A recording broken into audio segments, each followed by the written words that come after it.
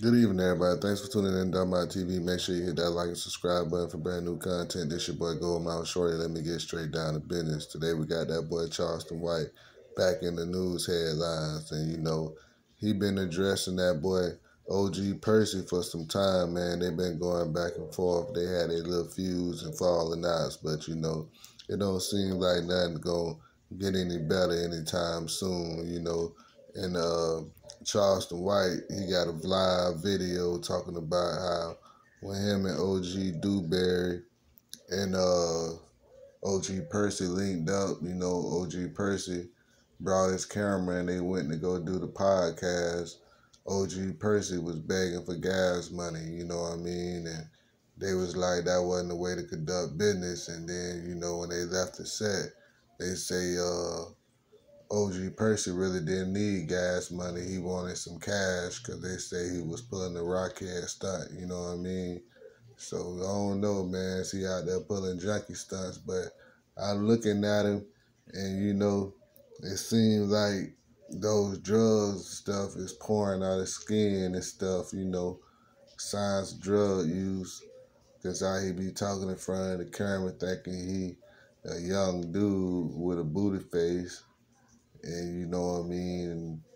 It just don't look right, man. Old clothes, you know, old ass house, old ass shit on the walls and shit. You know what I mean? Just look like this nigga here a dope fiend. You know what I mean? If you look at his legs, them bitches look like they just shrinking. You know, he big up top and the legs all po and skinny with veins in them and all ashy and shit like that. So that's sign of a crackhead. Like he sneak out at night and damage the body, and then he try to come back in the morning try to straighten up and shave and act like he a good uh, standard citizen. But he's sneaking out at night, going to the rock house, getting base rock and smoking.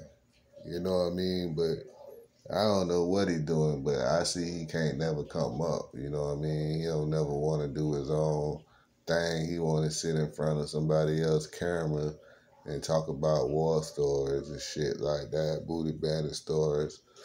And you know, Charleston White was like, the nigga got booty bandit rumors circling around his name anyways, but uh, Charleston White was like, we could have shared this platform because you know OG Percy had something going on in the beginning, but he wanted to get a couple dollars. And, you know, Charleston White, shit, he done made almost a quarter million so far off of YouTube and uh, different interviews and shit like that, being uh, activist and shit. And, you know, he was like, only thing OG Percy do is talk about gang stuff. You know, he do a little church thing too. But you know, all through the week, he just be on uh, Ferguson stories talking about gang shit, booty bandit shit, robbing and taking shit like that. But he don't never talk about them stories when he was smoking rocks. And you know, when niggas was chasing them and beating them up, dope fiending them for running off with their bombs. You don't talk about them stories, you know.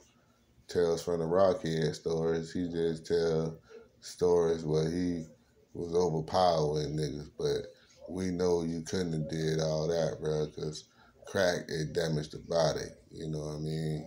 You can talk all you want to, but it gonna show when you get punched if you been smoking rocks, because you ain't gonna have no strength in you. Like when you fighting that nigga, we can tell you was on that rock, you was on that dope, man. But every time nigga hit you, you down there about to fall out. You ain't got no wind, you ain't got nothing. That let me know you was out smoking rocks all night. But this all allegedly. But you're doing something, boy. Sherm sticks, uh, powder, fentanyl, dirties. You're doing something, my nigga. And your teeth look so big like a horse because your jaw sucked in. So you need to stop shaving your face to the motherfucking uh, booty face. You know what I mean? Let your hair grow, bro. Let your jaw suck out and put some weight on you. Eat. Let me see you sit in front of the camera and they eat Sunday dinners all through the week, three times a day. They ain't gonna help none because you're gonna sneak out after the homeboy leave and go smoke some rocks anyways. But that what Charleston White say. I don't know. But you know, I heard them boys gonna clip your wings though, Charleston White uh, and uh, OD OG Dewberry. They getting together with some Dallas niggas and some uh, some uh, Funky Town niggas to go ahead and do you something dirty, uh, OG Percy.